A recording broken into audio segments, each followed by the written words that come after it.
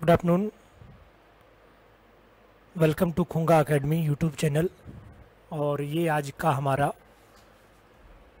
GK का assignment है। GK के असाइनमेंट का आज का पहला सवाल था, प्रमुख यमुनोत्तर, जिसको प्राइम मेरिडियन के नाम से जानते हैं, कहाँ से होकर गुजरती है? ठीक है? प्राइम मेरिडियन पासेस थ्रू तो जो प्राइम मेरिडियन है वो ग्रीनविच से निकलती है। आंसर इसमें आएगा हमारा ए और ये ग्रीनविच है इंग्लैंड के पास। लंदन के पास से निकलता है। ग्रीनविच इसको जीएमटी लाइन भी कहते हैं ग्रीनविच मेन टाइम भारतीय चावल अनुसंधान संस्थान कहाँ पर स्थित है? Where is Indian rice research institute तो भारतीय राष्ट्रीय चावल अनुसंधान स्थित है कटक में। डी आंसर डी आंसर आएगा कटक। इसी में अगर पूछता कि अंतर्राष्ट्रीय कहाँ पर है? इंटरनेशनल राइस रिसर्च इंस्टीट्यूट तो वो है फिलीपींस। ठीक है? नेक्स्ट। कार्बन और सल्फ़र दोनों क्या है? What is carbon and sulphur तो दोनों जो है, अधातु है, यानी नॉन मेटल है। तो बी आंसर आएगा इसमें हमारा। रेडियो एक्टिविता एक्टिविता की खोज किसने की? हु डिस्कवर्ड रेडियो एक्टिविटी तो रेडियो एक्टिविटी की खोज की थी हेनरी बैकुरल ने। सी आंसर आएगा इसमें हेनरी बैकुरल मैडम क्यूरी ने रेडियम का खोज की था, किया था। रदरफोर्ड ने प्रोटॉन। न्यूटन ने गुरुत्वाकर्षण और गति के नियम। ठीक है? तो सी आंसर होगा इसमें हेनरी बेकुरल बेकुरल को ऐसे लिखते हैं B A C Q U E double R L DNA कहाँ पाया जाता है? डीएनए इज़ फाउंड इन तो डीएनए पाया जाता है हमारा केंद्रक में। केंद्रक को बोलते हैं न्यूक्लियस। सो आंसर होगा हमारा ए डीएनए का फुल फॉर्म है D oxy D oxy ribose nucleic acid और ये हमारे गुणसूत्रों से संबंधित है, यानी जो जेनेटिक्स है हमारी, उससे रिलेटेड है। आंसर होगा ए न्यूक्लियस राष्ट्रीय खेल दिवस कब मनाया जाता है? नेशनल स्पोर्ट्स डे तो भारत में राष्ट्रीय खेल दिवस मनाया जाता है उनतीस अगस्त के दिन। आंसर होगा ए किसकी याद में बनाया जाता है तो मेजर ध्यानचंद, जिनको हॉकी का जादूगर कहते हैं। उनकी याद में बनाया जाता है राष्ट्रीय खेल दिवस। डेट है उनतीस अगस्त। अगला सवाल देखिए।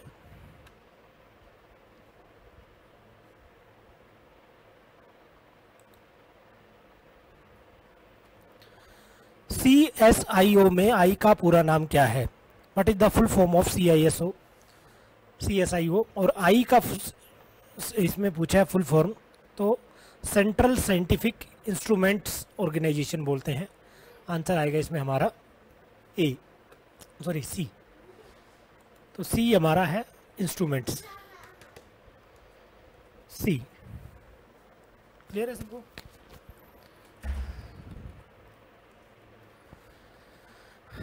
नेक्स्ट आईसीआईसीआई में पहले सी का पूरा नाम क्या है? What is the full form of I C I C I C I of first C तो ये है इंडस्ट्रियल क्रेडिट तो सी बी आंसर आएगा इसमें credit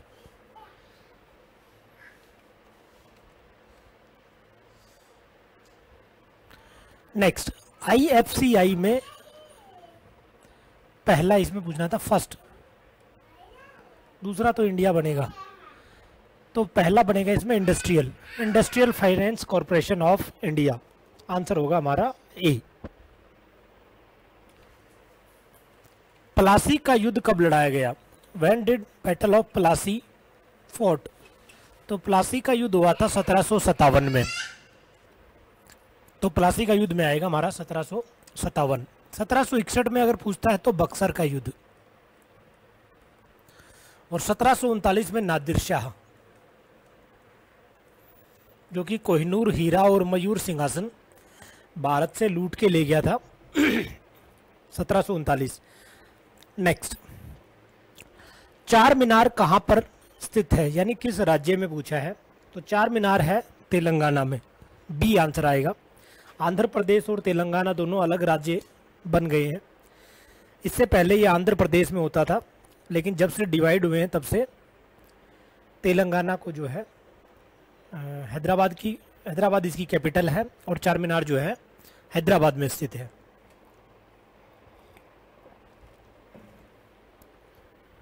सिकंदरा जो दे रखा है, ये उत्तर प्रदेश में है। अकबर का मकबरा है यहाँ पर।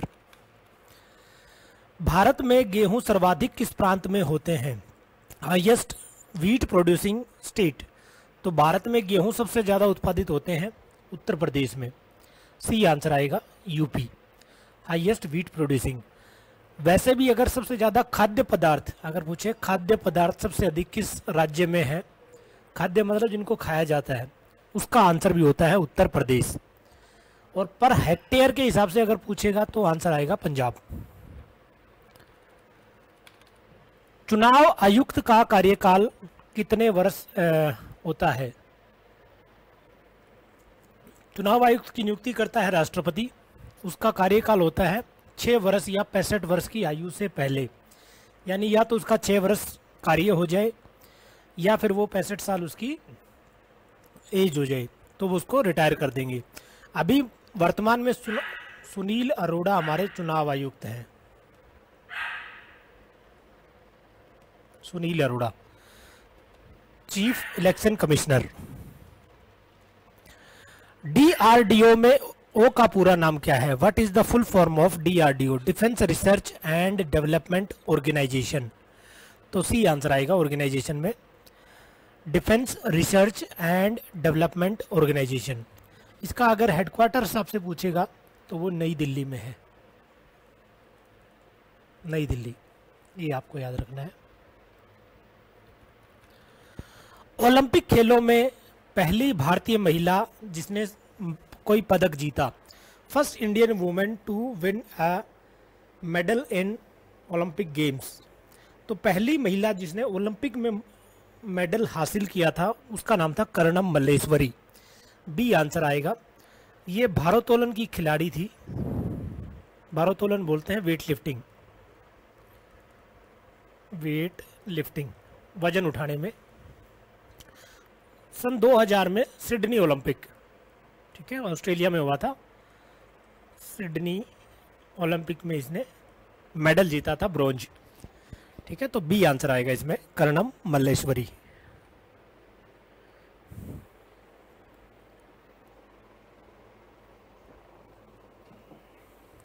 नेक्स्ट देखो। ओणम किस राज्य का प्रसिद्ध त्योहार है? Onam is a famous festival of which state तो ओणम जो है वो त्यौहार है केरल राज्य का। आंसर इसमें आएगा हमारा सी केरला। तमिलनाडु में जब पूछता है तो वो पोंगल आएगा। ठीक है? दोनों में कंफ्यूजन नहीं होना चाहिए। पोंगल है तमिलनाडु, ओणम है केरल राज्य। बिहू किस राज्य में नव वर्ष के शुरू में मनाया जाता, किस रूप में मनाया जाता है? Bihu is celebrated in which state as a new year तो बिहू जो है वो असम में मनाया जाता है। नए साल के रूप में ए आंसर आएगा असम। डांडिया और गरबा किस राज्य के लोक नृत्य हैं? Dandiya and Garba are state dance of which state तो ये दोनों गुजरात के प्रसिद्ध नृत्य हैं। बी आंसर आएगा इसमें, गुजरात।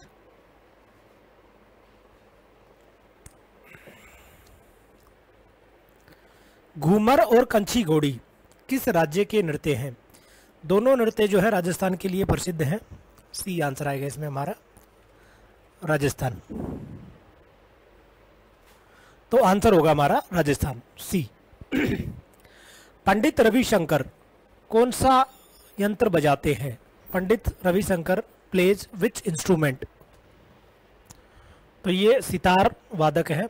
बी आंसर आएगा इसमें, सितार। किस भाषा की पुस्तकों ने सबसे अधिक बार ज्ञानपीठ पुरस्कार जीता है? Which language has won maximum time of Jnanpith award तो ज्ञानपीठ पुरस्कार दिया जाता है, पहली बात तो लेखन में, यानी पुस्तक लिखने में दिया जाता है। तो हिंदी भाषा को सबसे ज़्यादा पुरस्कार मिले हैं। आंसर इसमें होगा हमारा ए, Hindi.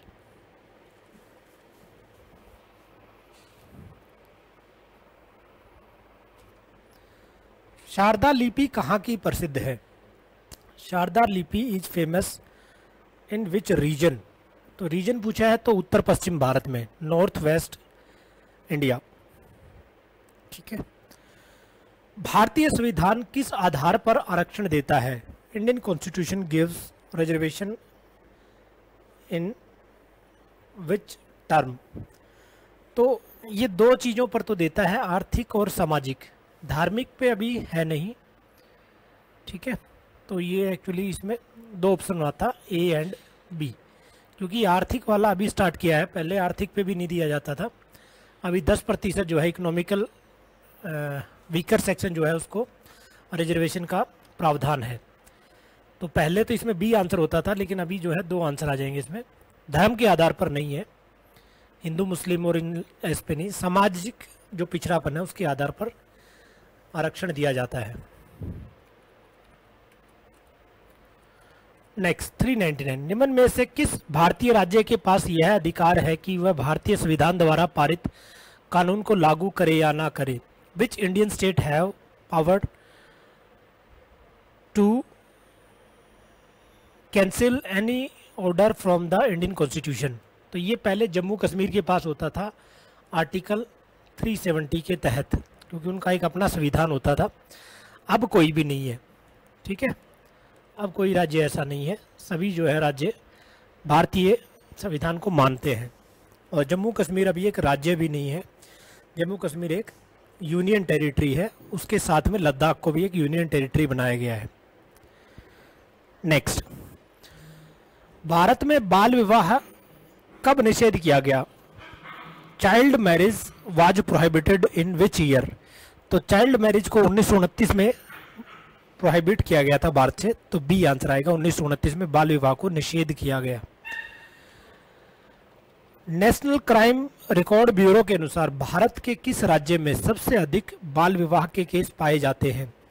According to national crime recording bureau which state have highest number of cases related to child marriage तो राजस्थान में जो है बाल विवाह के सबसे ज़्यादा केसेस पाए जाते हैं। सी आंसर आएगा इसमें, राजस्थान।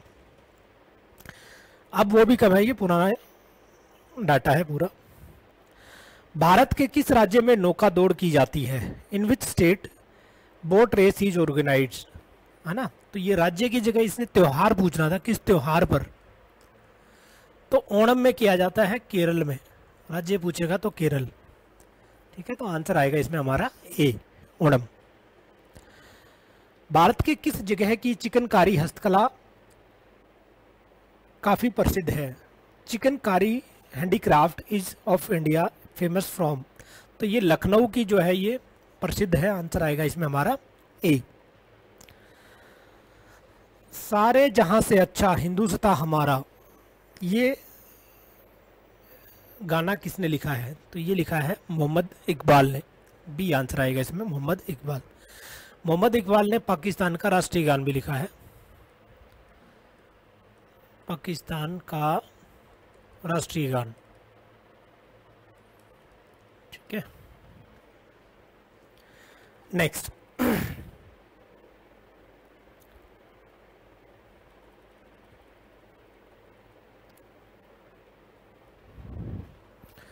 काल चक्कर शब्दावली किससे संबंधित है? तो काल चक्कर terminology is related to Buddhism. Answer आएगा इसमें बौद्ध धर्म तो बी आंसर आ जाएगा इसमें। साहित्य अकादमी का मुख्यालय कहाँ है? Where is the headquarter of Sahitya academy तो ये हेडक्वार्टर है नई दिल्ली में। आंसर होगा इसमें हमारा सी तंजौर का मंदिर किस प्रकार के नृत्य के लिए प्रसिद्ध है?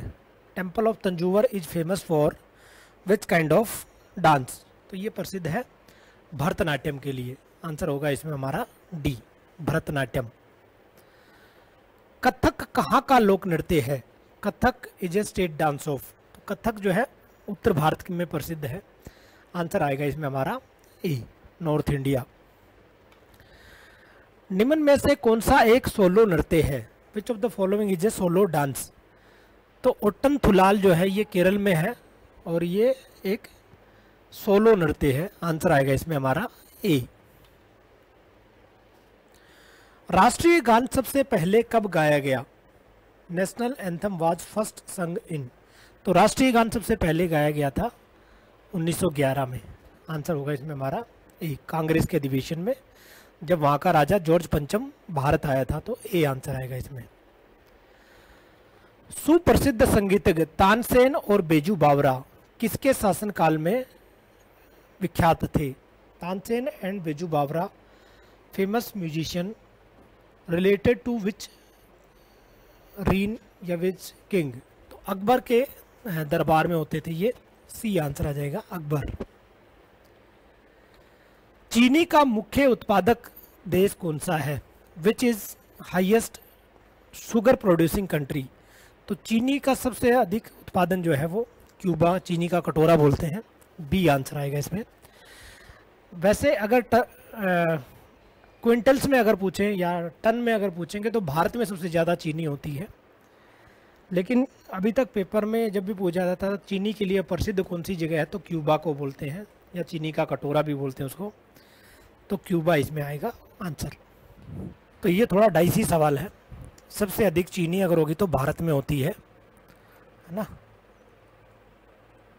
लेकिन क्यूबा को बोलते हैं चीनी का कटोरा। तो आप सवाल को देख लेना, क्या पूछ रहा है। सबसे अधिक इसमें अगर प्रमुख उत्पादक पूछा है तो आंसर इसमें सी होना चाहिए, क्यूबा नहीं आएगा। ठीक है? नेक्स्ट आज़ादी मेरा जन्मसिद्ध अधिकार है, और मैं इसे पाकर रहूँगा। ये किसने कहा? Who said freedom is my birth right and I will have it तो ये कहा था बाल गंगाधर तिलक ने। बी आंसर आएगा। महाराष्ट्र के एक नेता थे ये, बी।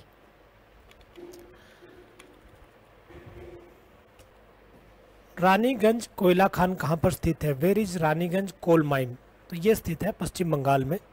सी आंसर आएगा इसमें वेस्ट बंगाल बांदीपुर राष्ट्रीय उद्यान कहाँ है? Where is Bandipur national park तो बांदीपुर राष्ट्रीय उद्यान है कर्नाटक में। आंसर होगा इसमें हमारा बी कर्नाटक। आईडीबीआई में डी का मतलब क्या होता है? तो ये इंडस्ट्रियल डेवलपमेंट है तो बी आंसर आएगा इसमें डेवलपमेंट राज्यसभा की अध्यक्षता कौन करता है? हु प्रेजिडाइड राज्यसभा या who is the chairman of Rajya Sabha? तो राज्यसभा का चेयरमैन होता है, उपराष्ट्रपति आंसर होगा इसमें हमारा सी वाइस प्रेसिडेंट ऑफ़ इंडिया और अभी है वेंकैया नायडू ठीक है तो सी आंसर आएगा इसमें। दस रुपए के नोट पर कौन हस्ताक्षर करता है? Who signed ten rupees note तो दस रुपए के नोट पे करता है रिज़र्व बैंक का गवर्नर आरबीआई गवर्नर अभी है शक्तिकांत दास। दास, ठीक है आरबीआई गवर्नर सिर्फ़ एक रुपया जो होता है, उस पर साइन करता है वित्त सचिव फाइनेंस सेक्रेटरी बाकी जितने भी एक रुपये से ऊपर के जो नोट हैं, यानी दो, पाँच, दस, बीस, पचास, सौ, दो सौ, पाँच सौ, दो हज़ार, सब पे नोट पे साइन करेगा आरबीआई का गवर्नर। ओलिवर ट्विस्ट किसकी रचना है? तो ओलिवर ट्विस्ट है चार्ल्स डिकेंस की। ए आंसर आएगा इसमें। और 420 में बांदीपुर राष्ट्रीय उद्यान किस राज्य में है? ये कर्नाटक में है। बी आंसर आ जाएगा इसमें, कर्नाटक। तो ये हमारा जीके का असाइनमेंट था। आई होप आप सबको समझ में आया होगा। ये वीडियो आप बार बार सुने और ये सवाल को जो है याद करें।